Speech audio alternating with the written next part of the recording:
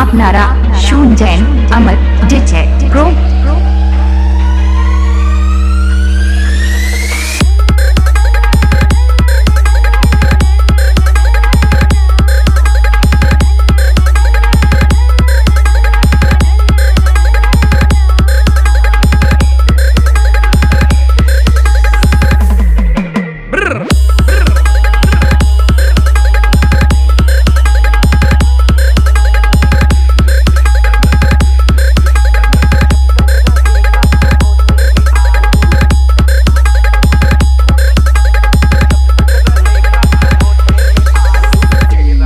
Electric.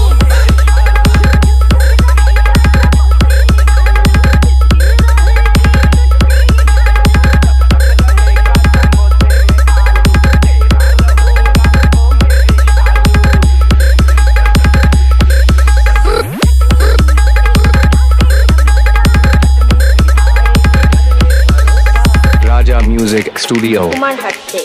Raja